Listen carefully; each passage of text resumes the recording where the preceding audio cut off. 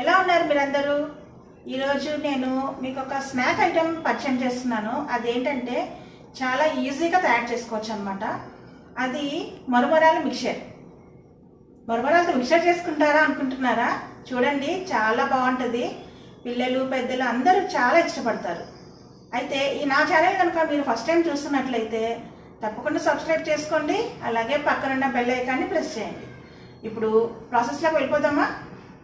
First మనం stove on చేసుకొని ఇట్లాంటి పెద్ద ప్యాన్ ఒకటి పెట్టుకోండి. కొంచెం వెడల్పుగా ఉన్నది అయితే మనకి ఈజీగా ఉంటుంది చేసుకోవడానికి దాంట్లోకి నేను ఈ జగ్తో టూ అండ్ హాఫ్ వేసాను మరమరాలు. మీరు మీకు కావాల్సినవి వేసుకోవచ్చు. ఇట్లా ఒక పెద్ద గిన్నెలో వేసుకొని సిమ్లో ఫ్రై చేసుకోవాలి. దాంట్లోకి కొంచెం ఒక స్పూన్ ఆయిల్ వేస్తున్నాను. One one and half spoon వేసుకోవచ్చు. కలర్కి కొంచెం పసుపు వేస్తున్నాను. ఈ పసుపు ఆ మరమరాలు పట్టినప్పుడు మంచి కలర్ వస్తుంది అనమాట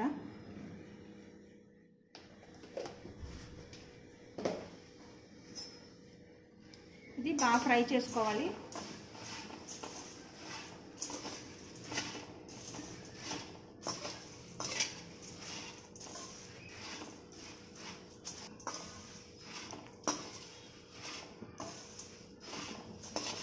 ఇట్లాగా కొంచెం ఒక టూ మినిట్స్ ఫ్రై చేసుకుంటే మనకి ఆ మరమరాల్లో ఉన్న అంతా పోయి మంచిగా క్రిస్ప్గా వస్తుంది అనమాట మనం అవి ప్రెస్ చేసినప్పుడు పౌడర్ అయిపోవాలి.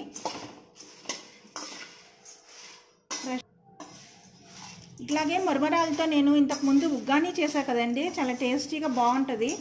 అది ఆ రెసిపీ కనుక మీకు చూడనట్లయితే నేను డిస్క్రిప్షన్ బాక్స్లో ఆ లింక్ పెడతాను. తప్పకుండా చూడండి. మరమరాలు ఫ్రై అయిపోయినాయి. చూడండి ఇప్పుడు దీన్ని ఇట్లా పట్టుకుంటే ఇట్లా పౌడర్ అయిపోవాలన్నమాట. చూడండి. ఇట్లా పౌడర్ అయిపోతే ఇంక ఇది ఫ్రై అయిపోయినట్లు. తీసి పక్కన పెట్టుకుందాం.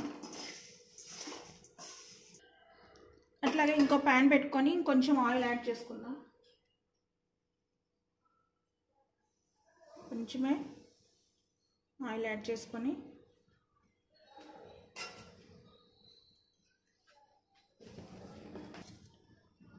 ఇదే జగ్తో నేను ఒక హాఫ్ అటుకులు తీసుకుంటున్నానండి.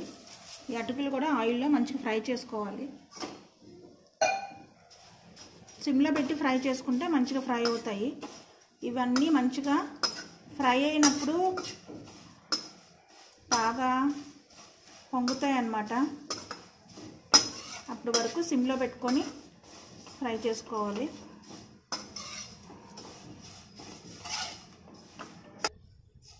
అటుకులు కూడా మంచిగా ఫ్రై అయిపోయినాయి. కలర్ చేంజ్ అవుతుంది కదా. ఇప్పుడు తీసి ఇవి కూడా మనం మరమరాలు ఏదైతే ఫ్రై చేసి ఉంచుకున్నామో దాంట్లో యాడ్ చేసుకుందాం. వేసేస్తున్నాను.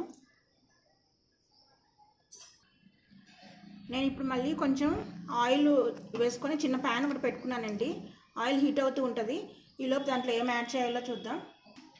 దాంట్లోకి కొన్ని పుట్నాలు యాడ్ చేస్తున్నాను. మీకు ఎన్ని కావాలంటే అన్ని యాడ్ చేసుకోవచ్చు.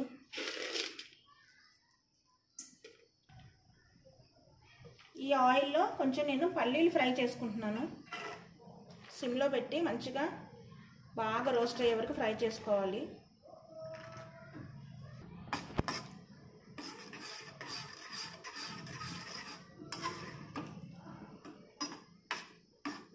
పల్లీలు ఇట్లా ఆయిల్లో ఫ్రై చేసుకుంటేనే మంచి టేస్ట్ వస్తుంది అనమాట సిమ్లో పెట్టుకొని మంచిగా లోపల వరకు ఫ్రై అయ్యేటట్లు ఫ్రై చేసుకుందాం. ఇదిగోండి ఫ్రై అయిపోయినాయి. ఈ పల్లీలు కూడా తీసేసి మనం ఆ మనమరాల్లో వేసేసుకుందాం.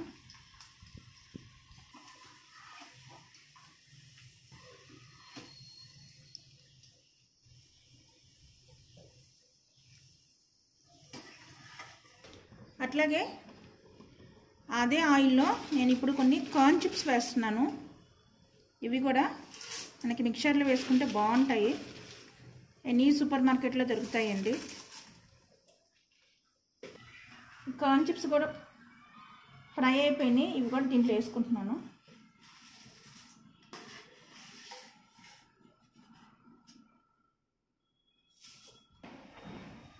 అలాగే దాంట్లో కొంచెం కరివేపాకు వేస్తున్నాను.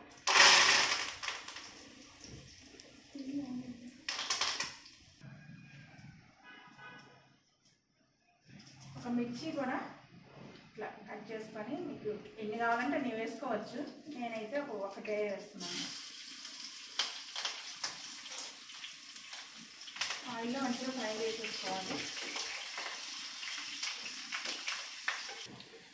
ఇప్పుడు ఈ కరివేపాకు పచ్చిమిరపకాయ అది కూడా దీంట్లో వేసేస్తున్నాను. ఇవి తింటున్నప్పుడు క్రంచీగా బాగుంటాయి.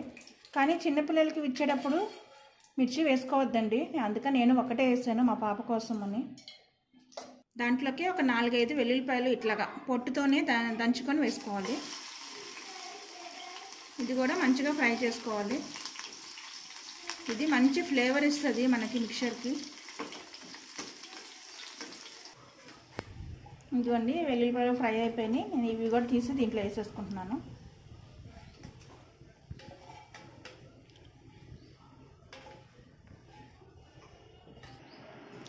ఇప్పుడు దీంట్లో ఫ్రై చేసుకోవాల్సిన అన్నీ వేసేసాను.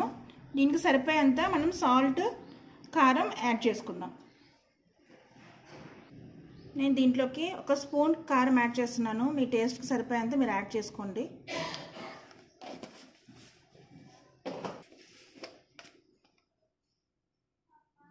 అలాగే కొంచెం సాల్ట్ యాడ్ చేస్తున్నాం ఇప్పుడు మంచిగా అన్నీ కలిసే వరకు మిక్స్ చేసుకుందాం.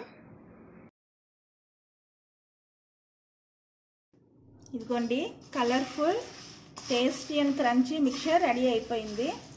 చూస్తారా? ఎంత ఈజీగా మనం ఇంట్లోనే చేసేసుకోవచ్చు. మీకు సౌండ్ వినిపిస్తుందా? ఎంత క్రంచీగా ఉంది కదా? ఇప్పుడు దీన్ని నేను డిష్ అవుట్ చేస్తాను.